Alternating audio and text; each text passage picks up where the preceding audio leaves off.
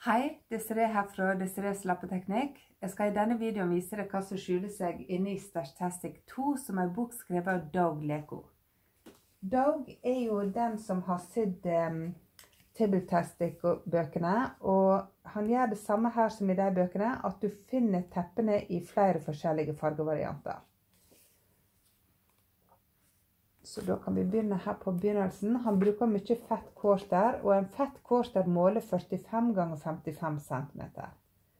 Her ser du sparkle.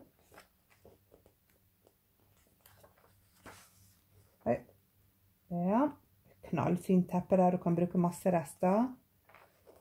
Spooling around.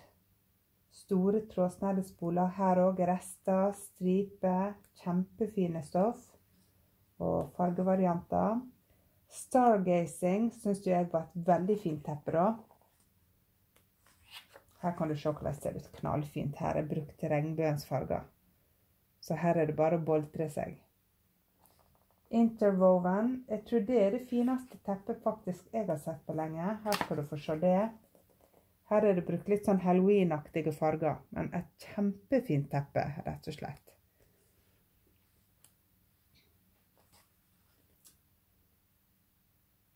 Ja, masse, masse fine tepper her. Pathways. Og det som òg er bra med bøkene, det er at det både passer for deg som er nybegynner, og for deg som er viderekommen.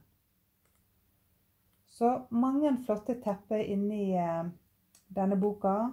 Denne her er jo skrevet litt senere enn den første.